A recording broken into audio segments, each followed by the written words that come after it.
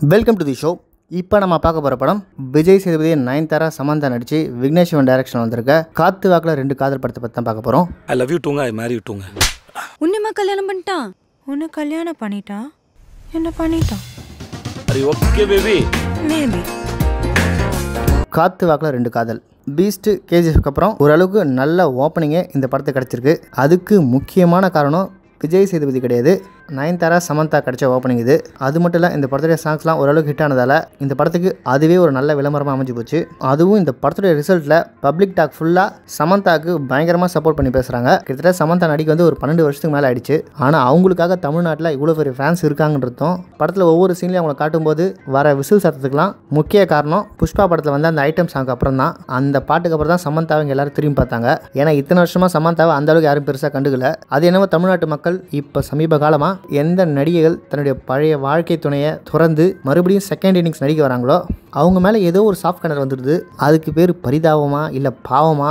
ஐயோ பாவம் புருஷனை விட்டு வந்துச்சுல இனிமே தான் நம்ம ஆதரவு கொடுக்கணும் அப்படின்னு நினைக்கிறாங்களா? இல்லை இனிமே சமந்தா எனக்கு தான் அப்படின்ற ஆவலில் பார்க்குறாங்களான்னு புரியல. இந்த படத்தில் சமந்தா வர ஒவ்வொரு சீன்ஸ்லையும் தேட்டரில் ஆடியன்ஸ் என்ஜாய் பண்ணுறாங்க இதே தான் ஒரு பத்து வருஷத்துக்கு முன்னாடி நயன்தாராவுக்கு நடந்தது. நான் பிரபுதேவா கல்யாணம் பண்ணிட்டு செட்டில் ஆக போகிறேன் இதான் என்னுடைய கடைசி படம்ட்டு ஒரு தெலுங்கு படத்தில் சீதா கேரக்டர் பண்ணி தன்னுடைய சினிமா வாழ்க்கையை முடிச்சுக்கலாம்னு நினச்சாங்க.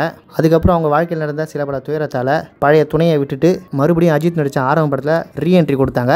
அப்போயும் இதே மாதிரி தான். இப்போ எப்படி சமந்தாக்கு சப்போர்ட் பண்ணுறாங்களோ அதே மாதிரி அந்த படத்தில் நயன்தாராவுக்கு பயங்கரமாக சப்போர்ட் பண்ணி இன்னைக்கு ஒரு லேடி சூப்பர் ஸ்டார் அளவுக்கு தூக்கி போய் வச்சுட்டாங்க. அவங்களும் சொல்லிக்கிற மாதிரி ஃபர்ஸ்ட் இன்னிங்ஸில் ஒன்றும் பெருசாக கிழிக்கல. ஆனால் செகண்ட் இன்னிங்ஸில் நம்பர் ஒன் நடிகாகி கோடி கோடியாக சம்பாதிச்சிட்டாங்க. இந்த படத்துக்கு அப்புறம் நயன்தாரா நம்பர் ஒன்னாக இருக்கிறது கொஞ்சம் கஷ்டம் தான் ஏன்னா இந்த படத்தில் நிறைய சீன்ஸில் அவங்களுக்கு கொஞ்சம் வயசு தெரியுது. நம்ம- நம்ம தமிழ் ரசிகர்களோட டேஸ்ட்டு ரொம்ப மாறிடுச்சு. இப்படி வாழ்க்கையில் வழுக்கி விழுந்தவங்களுக்கு வாய்ப்பு கொடுக்குறதும் வாழ வைக்கிறதும் நம்மளுடைய பெருந்தன்மை மிக்க குணமாயிடுச்சு. மனசுக்குள்ளே இனி திரிஷா எனக்கு தான் இனி நயன்தாரா எனக்கு தான் இனிமே சமந்தா எனக்கு மட்டும் தான் நினச்சிக்கிட்டு படம் பார்க்குறாங்க. சில பேருக்கு வயசாக தான் மவுசு வரும். அந்த இடத்தில் இப்பொழுது வந்து சேர்ந்திருப்பது சமந்தா. ஸோ இனிமேல் நயன்தாரா கொடி இறக்கப்பட்டு சமந்தாவுடைய கொடி நம்பர் ஒன்னில் வைக்க அதிக வாய்ப்பு உள்ளது. அனிருத்தோடைய பிஜிஎம் பாட்டுலாம் நல்லாவே இருக்குது விஜய் சேதுபதி ஓகே ஆனால் அந்த டூ டூ பாட்டு மட்டும் இப்போ இருக்கிற வேற ஏதாவது ஒரு ஹீரோ கையில் போயிருந்ததுன்னா வேற மாதிரி டான்ஸ் ஆடி ட்ரெண்டிங் நம்பர் ஒன்ல ஆக்கியிருப்பாங்க. இந்த பாட்டுலையும் டான்ஸ்ன்ற பேரில் நல்லா சாணி மிதிக்கிறாரு. மற்றபடி அவரை பற்றி பெருசாக குறை சொல்கிறதுக்கு ஒன்றும் இல்லை. சரி இந்த படத்துடைய கதை நான் பார்ப்போம். கதை என்னன்றது ட்ரெயிலரே சொல்லிட்டாங்க. என்ன விஜய் சேதுபதி ரெண்டு லவரை வச்சு மெயின்டைன் பண்ணுறாரா இல்லை ரெண்டு ஒய்ஃபை வச்சு மெயின்டைன் பண்ணுறாரா அப்படின்ற டவுட் தான் எல்லாருக்கும் இருந்தது. இந்த படம் ரெண்டு லவர் வச்சு மெயின்டைன் பண்ணுற கதை தான் கல்யாணம் அவங்களுக்குள்ள நடக்கலை. ஸோ இது ஒரு ரெட்டை வாழ் குருவி மாதிரியான படம் அப்படின்னு நினைக்காதீங்க. ரெண்டு கல்யாணம் ரெண்டு குடும்பம் ரெண்டு பேரும் கர்ப்பமாகி ஒரே ஹாஸ்பிட்டலில் ரெண்டு வாரில் குழந்தை பெற்றுக்கிற மாதிரி சீன்லாம் இந்த படத்தில் கிடையாது. ரெண்டு சூப்பரான லவர் வச்சு எப்படி கஷ்டப்பட்டு மெயின்டைன் பண்ணுறாருன்னு தான் இந்த படத்துடைய கதை. ஆனால் இந்த கதையவே எவ்வளோக்கு எவ்வளோ இன்ட்ரெஸ்டிங்காக எடுத்துகிட்டு போக முடியுமோ அவ்வளோக்கு எவ்வளோ இன்ட்ரெஸ்டிங்காக காமெடியாக எடுத்துகிட்டு போக ட்ரை பண்ணியிருக்காரு விக்னேஷ் சிவன்.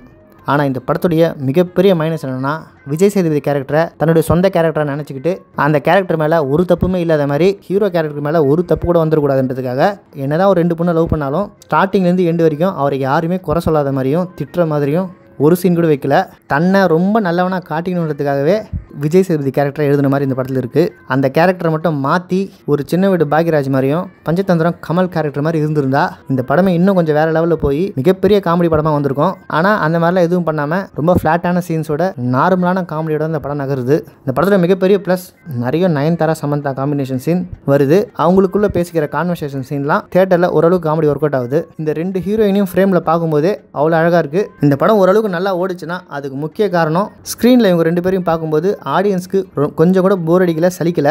அதுவும் குறிப்பாக முப்பத்தஞ்சு வயசுக்குள்ளே இருக்க ஒவ்வொருத்தரும் இந்த படத்தை ரொம்ப ஆவலாக போய் பார்க்குறாங்க அதுக்கு முக்கிய காரணம் இந்த மாதிரி ரெண்டு லவர் மெயின்டைன் பண்ணுறவங்க இந்த மாதிரி ரெண்டு பொண்டாட்டி மெயின்டைன் பண்ணுறவங்க ஒன் ப்ளஸ் ஒன்னு யாருக்கும் தெரியாமல் வச்சுக்கிறவங்க. அதுக்கப்புறம் முக்கியமான கேட்டகரியான ஒரு கல்யாணம் ஒரு காதல் கூட பண்ணாத 90s கிட்ஸ் இவங்கலாம் இந்த படத்தை ரொம்ப ஆவலாக வந்து பார்க்குறாங்க காரணம் இந்த படத்தில் இது சம்மந்தமாக நமக்கு ஏதோ ஒரு நல்ல தீர்வை கொடுக்க போகிறாங்க இந்த சமூகத்துக்கு தேவையான நல்ல கருத்து சொல்ல போகிறாங்கன்னு வந்து பார்த்தாங்க. ஆனால் அந்த மாதிரியான வேலையெல்லாம் விக்னேஷ் சிவன் பண்ணவே இல்லை.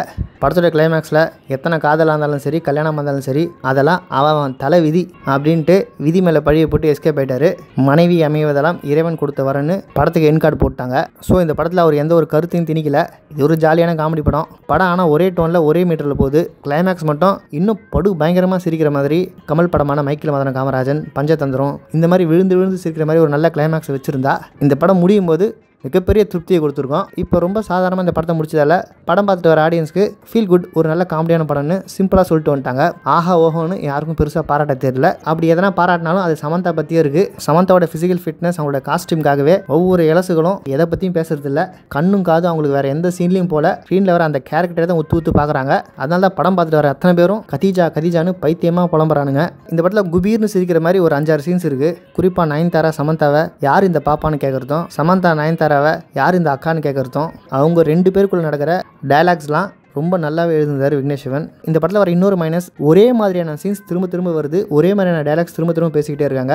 ரிப்பீட்டேட்டிவ் அதிகமாக இருந்துக்கிட்டே இருக்குது விஜய் சேதுபதி இன்டர்வலில் என்ன சொன்னாரோ அதே தான் கிளைமேக்ஸ்னு சொல்கிறாரு அதையெல்லாம் மாற்றி வேறு மாதிரி எடுத்துருக்கலாம். ஒரே சீனை திரும்ப திரும்ப வச்சு கொஞ்சம் போர் அடிச்ச மாதிரி ஆகிட்டாரு ஆறி போன இட்லிக்கு எதுக்கு ஹாட் பாக்ஸு ஆறி போனாலும் இட்லி இட்லி தானே சொல்கிற டயலாக்லாம் தேட்டரில் எல்லாரும் குபீர்னு சிரிச்சாங்க. சித்ரா லக்ஷ்மணன் ஒரு சீனில் என் தலையில் இருக்கிறதெல்லாம் விற்க முடியலடா. நான் கார்த்திகா ஷாம்பு போட்டு குடிக்கிறவன்டான்னு சொல்கிற சீன்லையும் தேட்டரில் ஆடியன்ஸ் யாராலும் சிரிப்பு அடக்க முடியல. இந்த மாதிரி எதிர்பார்க்காத சில காமெடி சீன்ஸ் இந்த படத்தில் ரெண்டு மூணு வருது. இந்த படம் ஃபுல்லாகவே இதே மாதிரி எடுத்திருந்தா படம் இன்னும் சிரிப்பாக சிரிச்சிருக்கும். இப்போ அங்கே ஒன்று இங்கே ஒன்றுன்னு கேப் விட்டு விட்டு சிரிக்கிற மாதிரி படம் ஆயிடுச்சு. சமந்தாவை தாண்டி இந்த படத்தில் நல்ல விஷயம் இருக்கான்னு கேட்டால் இந்த படம் ஸ்டார்டிங் டு எண்டு வரைக்கும் படம் பெருசாக எங்கேயுமே போர் அடிக்கல. கொஞ்சம் லென்த்தியாக போகிற மாதிரி இருந்தாலும் ஒரு சின்ன புன்முருளோட இந்த படத்தை எல்லாரும் ரசித்து தான் பார்க்குறாங்க இன்டர்வெல்லையும் சரி கிளைமேக்ஸும் சரி எங்கேயும் பீஸ்ட் படம் மாதிரி தேட்டரில் ஆடியன்ஸ் கொதிச்சு எழுந்து கண்ணாமண்ணு திட்டிட்டு போல. அதுவே இந்த படத்தில் ஒரு ஆறுதலான விஷயம். இந்த படத்துக்கு நூறு மார்க் எவ்வளோ கொடுக்கலாம்னா நான் சொன்ன மாதிரி கிளைமேக்ஸ் போர்ஷன் மட்டும் ஒரு லாஸ்ட் ஒரு கால் மணி நேரம் ஸ்கிரிப்டில் இன்னும் ஆழமான காமெடியான நல்ல சீன்ஸ் வச்சுருந்தா இந்த படம் ரொம்ப ரொம்ப நல்லா வந்திருக்கும். ஆனால் இப்போ இந்த படம் நல்லா வந்திருக்கு அப்படின்ற படம் ஆயிடுச்சு அதனால் இந்த படத்துக்கு நூற்றுக்கு ஒரு எண்பது மார்க் தாராளமாக கொடுக்கலாம். மிச்சம் இருபது மார்க் கிளாஸ் எதுக்குன்னா நான் சொன்ன அந்த காரணத்துக்காக. அடுத்த படத்தில் சந்திப்போம்.